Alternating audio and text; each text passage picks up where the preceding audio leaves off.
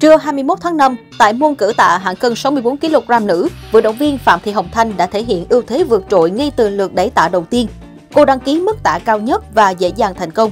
Với khởi đầu thuận lợi, cô kết thúc ngày thi đấu hoàn hảo của mình với thành tích xuất sắc, phá 3 kỷ lục SEA Games với thành tích lần lượt là cử giật 104 kg, cử đẩy 126 kg và tổng cử 230 kg. Hồng Thanh đã bảo vệ thành công tấm huy chương vàng từng giành được ở SEA Games 30 cách đây 3 năm. Bám rất sát phía sau cô là đối thủ đáng gờm người Philippines, Quinilitan Ando Arin. Cả hai thay nhau phá kỷ lục SEA Games, nhưng đô cử Việt Nam đã giành chiến thắng chung cuộc. Vời khi mình được đấu lại trên sân nhà và điều đặc biệt là điều động lực lớn nhất của em đó chính là uh, ban lãnh đạo và huấn luyện viên và người nhà đã lên cổ vũ em rất là nhiệt tình mà đặc biệt hơn nữa là người hâm mộ của em rất là đông điều đó giúp em tạo động lực rất là lớn mình có thể thành công tại trên sân nhà khi mới tập cử tạ được 3 năm, Hồng Thanh đã có cơ hội sang Hàn Quốc du học, nơi mẹ cô đang sinh sống và làm việc.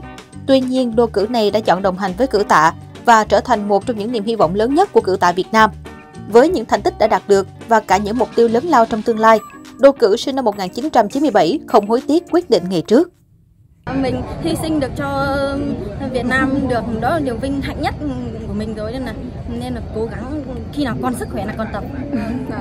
Khi đấu tại trên sân nhà, điều chắc chắn một điều là mình sẽ càng phải quyết tâm hơn nữa để mình giữ cái chức huy chương vàng nên là em đã đặt cái niềm tin ở nhà là dù bằng mọi giá mình phải thành công nên là em đã em cảm thấy rất là hạnh phúc khi là mình có thể chinh phục được mức tạ trên trận sàn ờ, em chỉ nghĩ một điều tích cực đó chính là quan trọng là mình phải vượt qua được bản thân mình chiến thắng bản thân mình. Quan trọng đối thủ mạnh như nào. Ờ, đó chính là nếu mà đối thủ mạnh thì đó chính là cái động lực giúp mình có thể vươn xa hơn mình nhìn vào các bạn mình cố gắng hơn thôi. Đấy nên là dù thế nào bằng mọi giá thì mình trước tiên mình thắng bản thân mình đã. Không những cơ bắp và sức mạnh của Hồng Thanh khiến đối thủ phải cẩn trọng, mà nhan sắc của cô cũng có thể hạ gục đối phương. Cô sở hữu vẻ đẹp đầm thấm, dịu dàng và đầy thu hút. Người hâm mộ cũng đặt cho cô biệt danh Hot Girl cử tạ. Nữ đô cử người Hải Dương coi đó là một nguồn động lực đặc biệt. Em vẫn cứ nhìn bên này đi.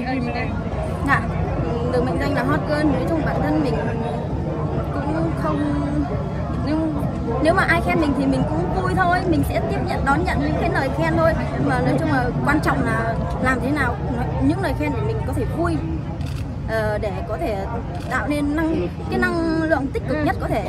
Quan trọng là mình làm sao để mức tạ của mình càng ngày càng cao thì cái xinh đẹp mình mới đón nhận được thêm nhiều.